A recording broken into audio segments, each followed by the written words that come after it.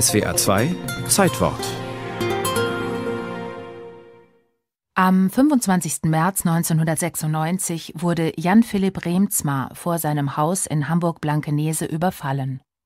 Zwei maskierte Männer schlugen den 43-Jährigen nieder und zerrten ihn in ein Auto. Vor der Tür hinterließen sie einen Erpresserbrief, beschwert mit einer Handgranate. Wir haben Herrn Remzma entführt. Wir fordern ein Lösegeld von 20 Millionen D-Mark. Nur gebrauchte Tausender, keine Serien. Diesen Brief fand Remzmas Ehefrau noch in derselben Nacht. Derweil wurde ihr Mann in der Nähe von Bremen in einen Keller gesperrt. 33 Tage musste er im Keller bleiben, da einige Geldübergaben scheiterten. Ein Nervenkrieg für alle Beteiligten. Über seine Gefangenschaft schrieb Jan Philipp Remzma später ein Buch mit dem kurzen Titel Im Keller. Es ist die Geschichte eines verzweifelten Menschen, der aus allen Zusammenhängen gerissen wird, dem die Fähigkeit zur intellektuellen Einordnung der Geschehnisse aber auch sehr hilft. So schildert er nicht nur den Alltag im Keller, sondern denkt auch nach über Ich- und Zeitgefühl, über Gewalt, Trauma und Isolationshaft. Außerdem vergleicht er verschiedene Entführungsfälle verbrechensstilistisch miteinander und entfaltet Überlegungen zur Weltliteratur.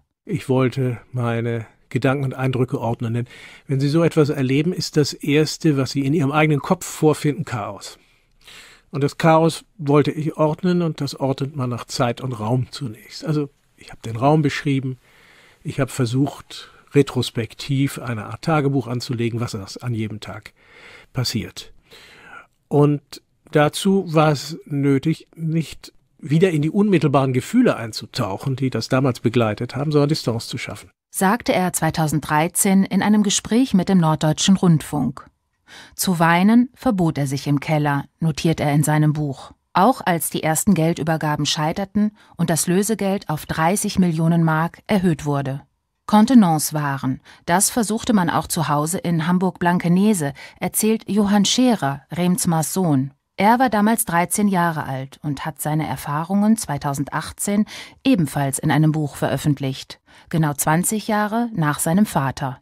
Noch am Donnerstag hatte meine Mutter unsere Haushälterin Frau Gutke etwas eingebläut.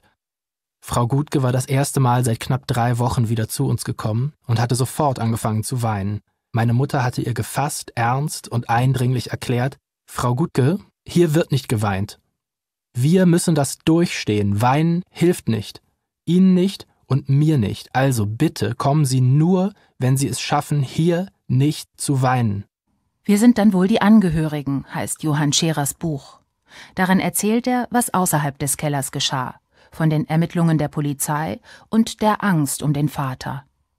Für die Täter, die schließlich gefasst wurden, interessieren sich übrigens weder Vater noch Sohn besonders. Und auch nicht für das immense Lösegeld, das bis heute verschwunden ist. Trotz des tiefen Familientraumas wahrt man Haltung.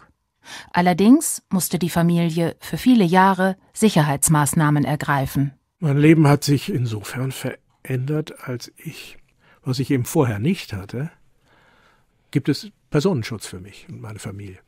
Das ist die gravierende Änderung. Ansonsten ist es das natürlich, dass ich einiges genauer weiß über den Ablauf solcher Gewalttätigkeiten, wie man das erlebt und erfährt.